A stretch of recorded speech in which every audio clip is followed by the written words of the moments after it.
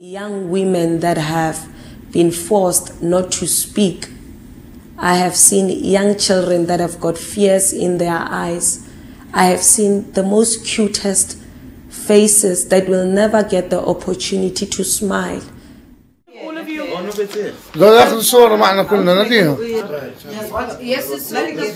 He has to demolish his home before 24 uh, of January. us? Then to take the photos of demolishing his home and to go to the court to prove that he demolished the home. And then what do they give? They, they don't compensate.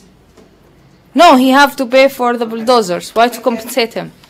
I'm just saying, like for If let's say demolished, meaning is you get something. no. No.